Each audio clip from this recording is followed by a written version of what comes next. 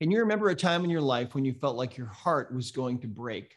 You might have felt like there was an elephant sitting on your chest, or like you were choking, or like you couldn't breathe.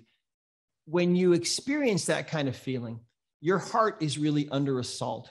And your heart, we know now, is a second brain, and it contains and holds the memories and the affinities of the things that you really care about. Well, when that heart is under assault during those times when you're feeling like your heart is going to break, sometimes that heart will need to be protected. And the subconscious mind, we now know, will put up a wall of energy around your heart that we call the heart wall.